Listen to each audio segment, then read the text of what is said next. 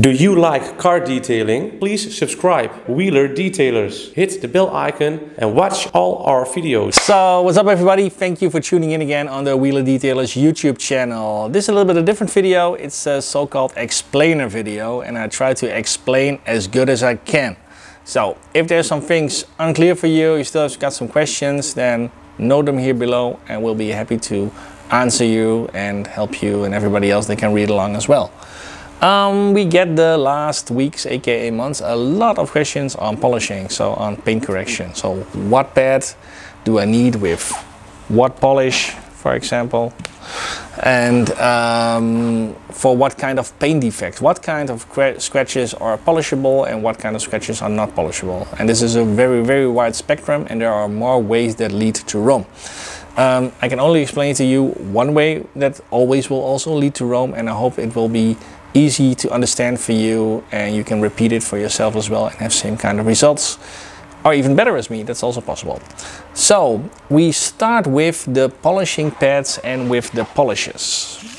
Let me put them here on the card in the right order. Because within Chemical Guys there is a certain kind of variety and I have my pads here on this side. So before we're gonna start to explain the products itself, everything with polish happens so-called on a grit scale. And Jordi made a nice infographic. That's a nice word. So Jordi made an infographic uh, and he will also link it in the video here below so you can uh, click on it and uh, download it for yourself. Um, and if you can see it correctly here, this grit scale starts on 1200 grit and ends on 3000 plus grit. And on this grit scale, a lot of things are happening. And you will see that here on the, on the starting point of the 1200, 1500 grit, you here have a lot of deep scratches. And for deep scratches, you can figure that out for yourself. If is a scratch on the paint where you can more or less uh, stick with your nails in. But it's still a scratch that's in the clear coat or in the color coat. I'll come back on that topic a little bit later. Then you go a little bit more to the middle segment, which is around the 1750 to let's say 2500 grit range. So um, this is more or less aimed for the swirls. And swirls are like the wash marks and the scratches that you get from bad washing methods. And then on the end, the 2,500, 3,000 uh, grit plus range, you see holograms, which comes from uh, not correct rotary polishing. Now, and all these kind of parts of the grit range follow on until each other. So more or less, you can conclude that on this side of the grit range, let's say 1200 grit, and on this side of the grit range, let's say 3000 plus grit, here you got heavy scratches, and here you have the most beautiful paint that you can probably think of. And we go out of polishing with a polishes here of water-based polishes. So that means water-based polishes will not cover up or mask up or anything like that. Uh, and they will probably, in the stronger segments, they will probably dust a little bit more than oil or petroleum-based polishes. But this is just how the products are being designed and that's where we have to work with. So I hope this gives you a little bit of an idea of the basics and hopefully with this infographic uh, when you look at your own car's paint, you can easily understand if you see some swirls that it's around two, two and a half thousand grit, and if you see some deep scratches, but still in the clear coat and are in the uh, color coat, they are sandable or and are polishable. So here we have the other table which says something about the buildup of the paint layer. So from bottom to top we have the panel, which is the uh, sheet uh, plate uh, sheet material uh, from metal, from aluminium or plastic. Then we have the primer layer, which is also called the base coat. Um, this is often uh, white and or gray, and this is being used to uh, level the sheet and plate material to an acceptable smooth layer where color and clear coat can adhere on. Then we have the color paint and and this paint gives of course the beauty to the shape of the car And on top we have the clear coat. So this is the transparent layer on top of the color coat.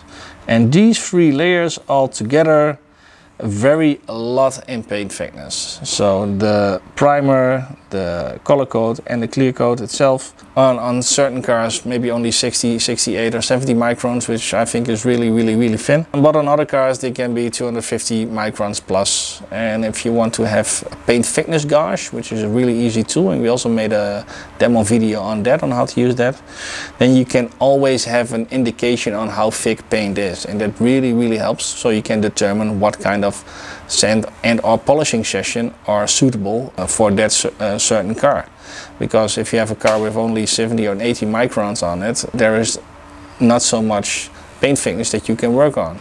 And that creates risks of course. If you would polish through the paint then yeah you will see the primer layer again and this is the white or the gray color and which is not so nice to explain to your customer you made a mistake and you have polished through the paint so um, my own rules uh, are there, uh, which I have experienced over the last 15 years that when the paint is thinner than 100 microns, I do not sand anymore. And when the paint is thinner than 80 microns, I do not rotary polish anymore. So I'm only going to use the orbital polisher. So you can also download this infographic and then um, yeah, have some guidance for that for yourself as well. So we're going to go back to the grit scale. I'm gonna put it here on my lap. And to start with, we have certain amount of pads and the Hex Logic Quantum pads vary a lot in hardness. We have them in yellow, orange, uh, green, white, blue, black and red. And then we have wool, but we keep that separate for a moment. So normally the yellow and or orange pad you would like to use in the strongest ra uh, range of the grit scale. And you would use these with, for example, the V32 strong polish or the V30 or super strong polish and the V34 strong polish, both water-based. So the V32 goes from 1200 to 1500 grit and the V34 goes from 1500 to 2000 grit. Now, based with these pads and polishes, you can uh, remove uh, um, a lot of heavy swirls, or with the V34 also a lot of deep scratches that you can actually feel with the tips of your nails, as long as they're in the clear coat or in the color coat. Then you want to choose the po polisher that you would be working on. We're gonna do a polishing video in a later stadium, so that's also nice for you to know to check out. So we can choose a rotary polisher, which only makes circular motions. And you use these more or less with uh, around 900 to 1000 RPM. And then you have the orbital polishers. In this case, we have a Bigfoot 15 here. And the Bigfoot 15 is a dual action polisher, which makes an imitation of your hand movement, like this and spins at the same time as well.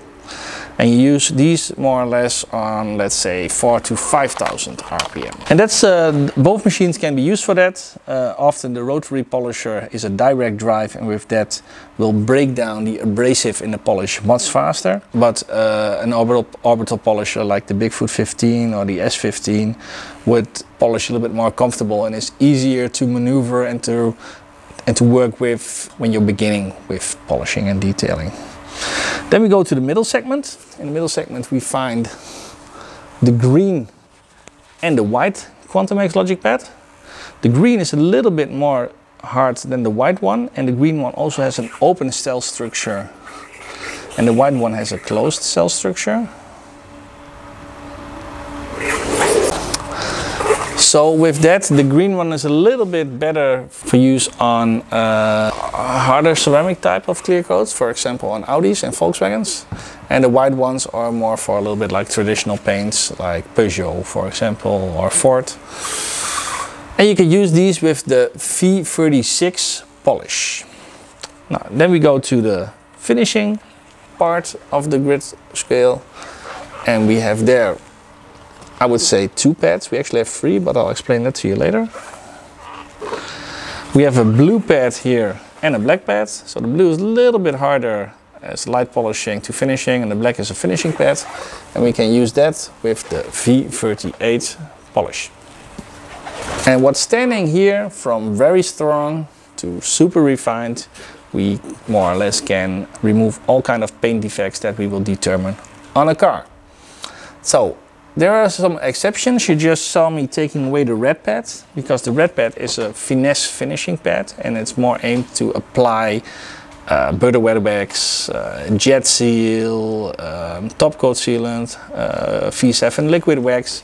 So cream or liquid products that do finishing or beautify or add more gloss um, and you want to apply that with the machine you can use a red pad for that so the red pad should be there then we have the VSS polish which is a little bit of both this is a one-step polish that does a grit scale of 2000 to 2800 which more or less fits a little bit in the middle of here I really love the VSS. It's very usable. So if you want to do one-step polishes and you want to do for that one step kind of a large grit range, so from 2000 to 2800.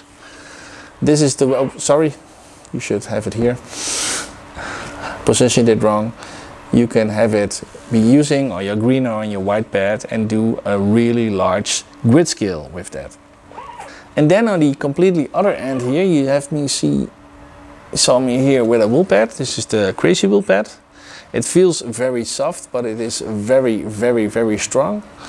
Um, and it creates a lot of heat. And especially in the strongest part of the grit scale, you might want to have a lot of heat because with heat and with speed, so on your orbital and or on your rotary uh, polisher, the strong uh, polish that's in these strong uh, that's in these uh, as an ingredient in these products will uh, wear down faster with heat and wool and the polishing uh, activity.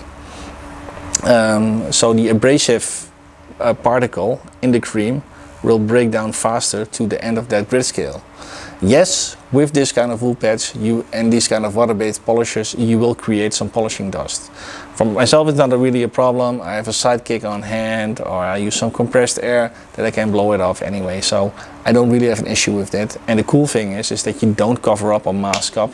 So you see perfectly what kind of results that you're getting. And if they're not satisfying enough, um, then you can repeat or choose another combination uh, to work with uh, at that uh, spot. Um, so yeah, more or less with this information I hope to have guided you uh, a lot on what kind of pad and what kind of camouflage polish you can use for what kind of paint defects, so deep scratches, swirls or holograms. And uh, with that, yeah, I hope it helps you to uh, detail better, faster, more efficient uh, on your car. So, uh, like I said in the beginning, if you got some questions or things that are unclear for you in this video, then please let me know. Write it here below. I'm happy to uh, help you and guide, uh, guide you with this. Uh, you can also email us uh, if you got some photos from your car and you've tried a couple of combinations and for some reason it didn't work. Email us those photos, then we can take a look at it and give you some, uh, some tips and tricks and advices on that or you can chat with us over the website or over the WhatsApp service. So thank you very much for um, watching this video. If you didn't do it already, subscribe to the Wheeler Detailers YouTube channel, hit the bell icon so every time we do an upload you get informed ASAP. Thanks for watching, see you in the next video, bye bye.